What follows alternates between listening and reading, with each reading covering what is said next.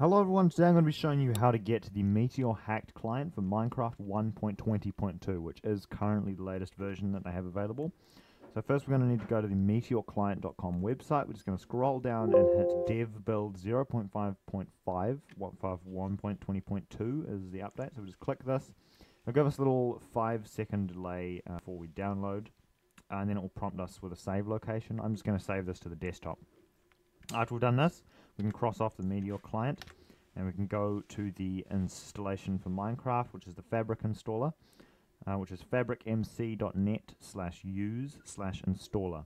We just go ahead and hit download universal jar. This is going to download the jar, jar file version if we hit download for Windows, it'll give us an exe. I just prefer running the jar. If you do not have Java installed, th this is going to cause problems and your files are going to look white. So if we have these two files here, as you can see, they don't have the little coffee Java logo. And you can normally just fix this by right-clicking on them and going open with and then selecting Java. If Java doesn't pop up as an option, you may have to install it first, and it should pop up as the default option for .jar files. And we're going to just go ahead and hit always use this app to open .jar files. Hit OK and that will change them to the little coffee logos. Should load the default latest version, and we're going to want to make sure that create profile remains ticked and that the, the version is set to the same version of the client which we're using. So if we just go ahead and hit install, it should be pretty fast. It'll give us a little window that says Fabric Installer 1.20.2 has been successfully installed. Let's go ahead and hit uh, OK.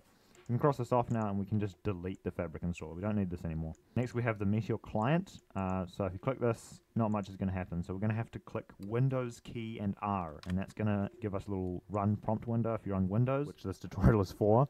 And we're going to go ahead and type percentage app data percentage. Uh, just in case you didn't see what I wrote there, I'm just going to try and zoom in. Percentage app data percentage. Sometimes that can trip people up a bit.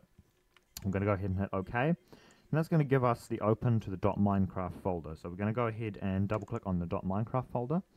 And for your first time installing a mod like this, there is not going to be a mods folder in here. So what we're going to do is we're going to right click and we're going to go new folder. And then we're going to name it MODS mods. Very short.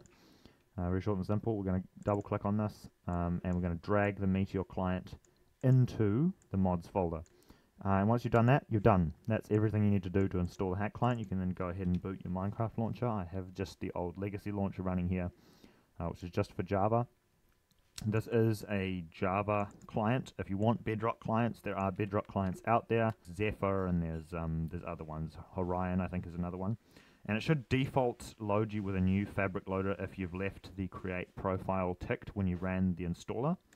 So now we should be able to just hit play. I wouldn't recommend really hacking on any server that doesn't want you to use hack clients. Like if you're going on 2b2t, um, then well, who cares? That's that's an anarchy server. You can you can do whatever you want.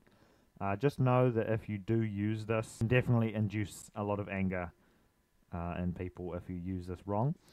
Uh, so to open the the Meteor hacked client, you're just going to want to press the right shift button to enable a hack you left click on something, which is just your normal click that you use to break a block. That's how you toggle it on and off. You just click it once and then click it again to turn it off. Right click, which is like the place the block button, then it'll give you extra options. And escape is to get out. Press escape to get out again.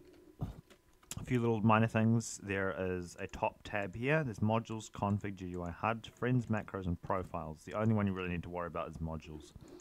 Um, yeah, that's pretty much all you need to know. Anyway, that's just about it. It's a bit of a long one, eight minutes. That's probably more time than I would normally spend explaining this. It probably could be explained a lot faster, uh, but I just wanted to be a bit more thorough in this one. Uh, so yeah, that should be everything you need to know. Thanks for watching, and have a nice day. Goodbye.